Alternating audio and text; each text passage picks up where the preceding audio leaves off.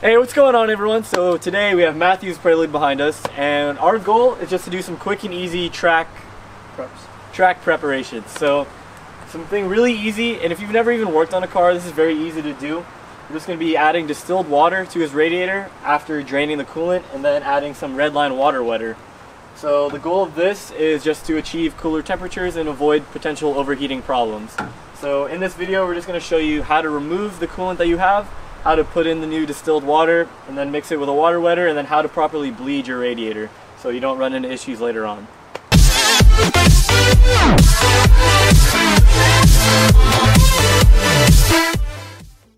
So the actual draining of the radiator is really simple. Depending on what kind of car you have, you either will have a petcock that you can remove by hand or you might need to use a wrench. It just depends on the radiator and even what model you have because some aftermarkets are different than the OEM style radiator. Make sure before you start working that you know your coolant capacity because you don't want to run too short and it's just good to know you can check like AutoZone, give them a quick call or just look online. But got to make sure you have everything ready so you can do it all at once right. And the total cost for this, so distilled water at the local markets are about a dollar per gallon. Um, I know on Matt's car, I believe it's three and a quarter gallons that he uses. And then the water wetter itself from Redline, that is, I believe, 12 or 13 bucks probably at your local auto parts store. So it's not, it's like under $20 for the total job.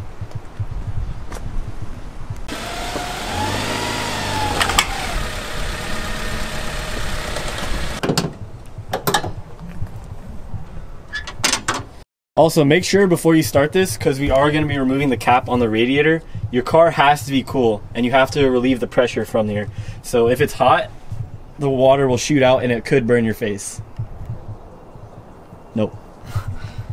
so in Matthew's case, he does have a petcock right there that we can actually just remove by hand. Some cars will require a wrench. Some cars actually don't even have one at all. So at that point, you would have to remove the lower radiator hose and then just drain it out that way, which is that guy. In order to get the coolant out at a higher flow, you definitely want to take the radiator cap off. So make sure your car is cool and then it should just pop right off after you twist it. And there it is.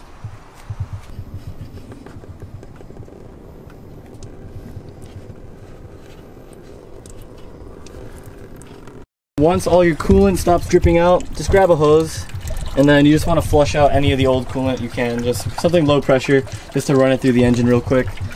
And then you'll see it start dripping out into the pan again. Alright, and then once you finish flushing out the radiator, just tighten the petcock and then you're ready to start filling it. And in Matthew's case too, he does have an overflow tank. It's really easy to find normally. If you look at your radiator cap, there's usually a hose running off of it, and then either to this side or that side of the engine, depends on the car. And then you just want to take that and literally just dump it out. And then just to clean it out, just hose it out again, just like we did with the radiator. Yeah, you probably have a lot of crud collected in there. Awesome.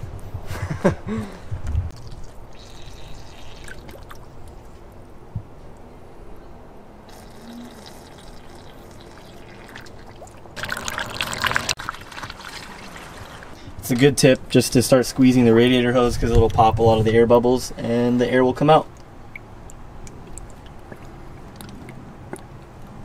Right now we've got a good amount of water in his radiator um, and we're having issues just getting the water down. So what Matthew's going to do at this point is just start the engine and then once the water pump starts going it'll start pushing the water through and we'll see a lot of the air come up on its own through just the idle. He can blip the throttle a little bit to make it quicker, but it's usually not necessary. And then once it's done, we're just going to top it off and then add the water wetter. So as you can see here, as the engine, engine is just idling, it's getting a lot of the air bubbles out on its own just by the motion of the water pump. So right now, just to make this process a little bit quicker, I'm having Matthew sit in the car and he's just pressing the gas ever so slightly just to get the idles up so the engine and the water pump, it just makes the process a lot quicker. You can see all those air bubbles still coming out.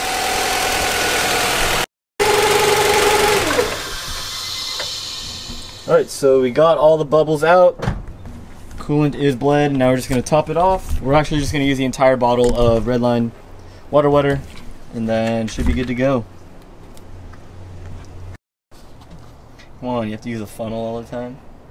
You don't want any of this pink gold to go to waste.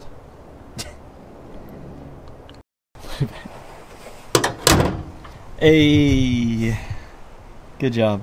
Thanks. Yeah, so all in all, not that hard of a job to do. We got it done probably about 30, 35 minutes, and he is ready to go. All right, as always, thank you guys for watching. I'll see you in the next video. Peace out.